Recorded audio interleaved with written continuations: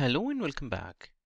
In this lecture, we're going to learn about Azure Active Directory authentication methods that we have. When it comes to the one of the main feature of identity platform is to verify or authenticate credentials when a user is signing into a device or application or a service. When it comes to the password protection, by default Azure AD blocks weak passwords. For example, you may have a password as a password or password one.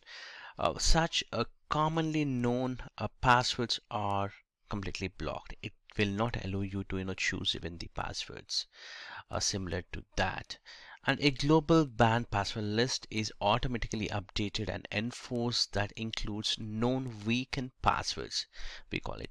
And if an Azure AD user tries to set their password to one of the one of these weakest passwords um, they receive a notification to choose more secure password so to increase the security, you can also define custom password protection policies.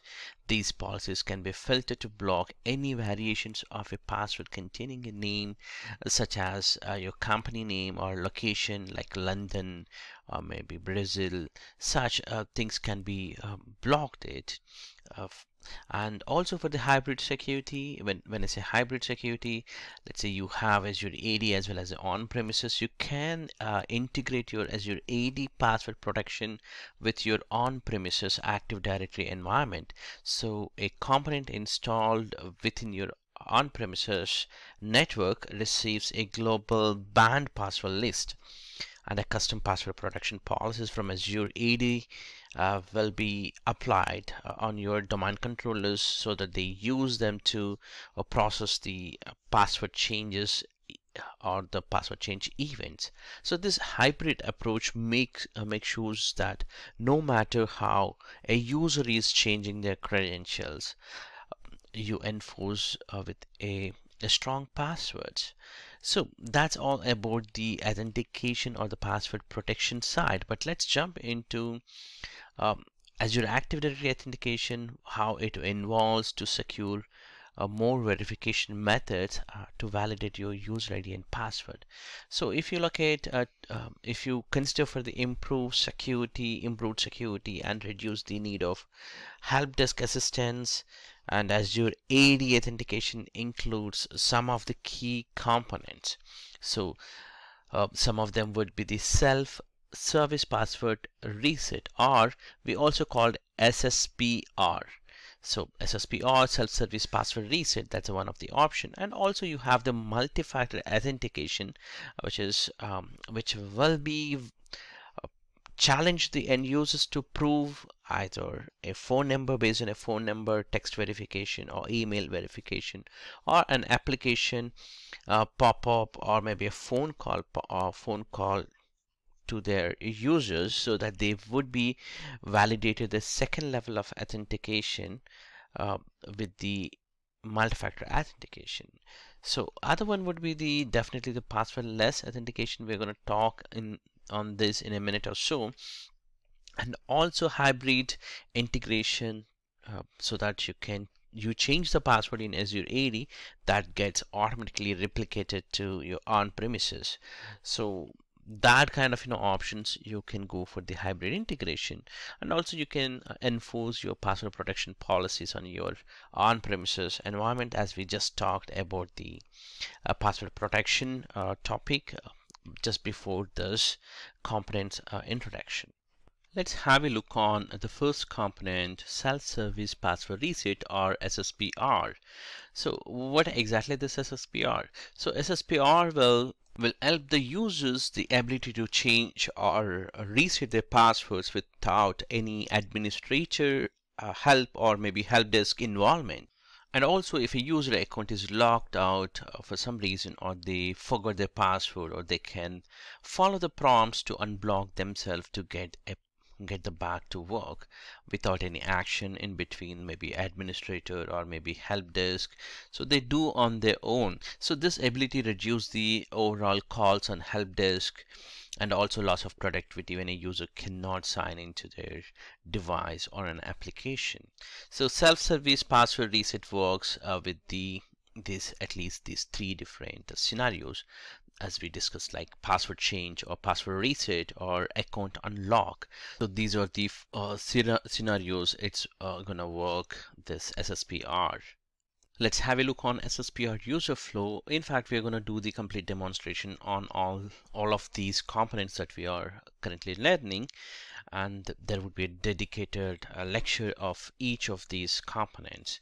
But for now just to you know understand at the high end SSPR uh, user flow like a user will go and he will redirect to password reset.microsoftonline.com or he will log into whatever the application and he can just click on the forgot password and that gets redirected to password reset.microsoftonline.com URL and then he will be challenged with the multi-factor authentication uh, to verify his real user ID let's see, maybe or the text or maybe a phone call or maybe or the application verification code which generates uh, from a mobile application like authenticator.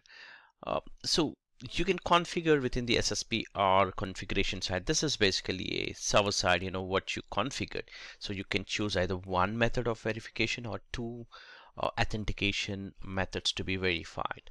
So once that's verified, uh, what would happen is it actually sends the information to Azure Active Directory for the self-service password reset service and uh, if the user is coming from on premises there is a feature called password write back uh, which we enable in Azure AD Connect. This is the component we are going to install on Azure uh, AD Connect tool on our on premises one of the Windows server machine. And that could be any of the Windows member server. In fact you can check out the Azure AD Connect uh, configuration what we have talked within this module.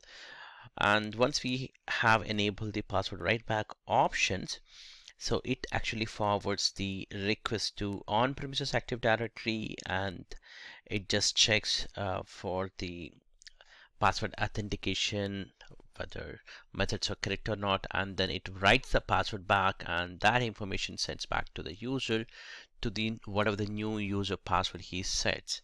And post to that whenever he logs in if it's a known location it's not going to ask for the user for re-verification to the MFA or based on your configuration and then it will enable the access for the end users either application from Azure cloud or from maybe on premises. So that's how it's going to work for the SSPR user flow Let's jump into passwordless authentication. So the end goal of many environment is to remove the uh, remove the use of passwords as part of the sign-in events.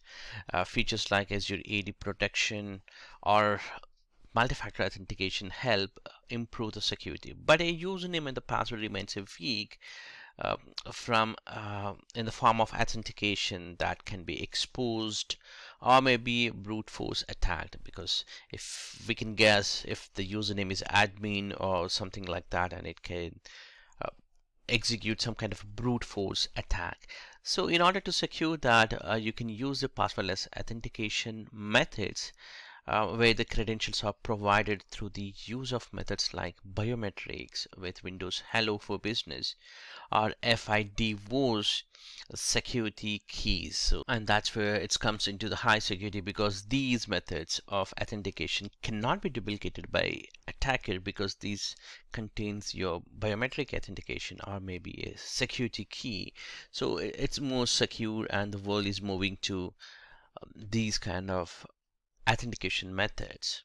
I hope this helps you and uh, let's uh, go back to the previous slides and and see what we have learned so far. So we talked about uh, the password security, like you cannot use the known passwords or the global known passwords or the weak passwords because the password protection is by default with the Azure Active Directory. And also you have the option for the authentication to secure, like you can go for self-service password reset or multi-factor authentication or passwordless authentication and also you have the hybrid integration uh, where you can reset the password uh, from Azure and that password will be write back to your Azure Active Directory. I hope this is useful for you. Thank you for watching this and I hope uh, you can give a feedback on my course. Thank you.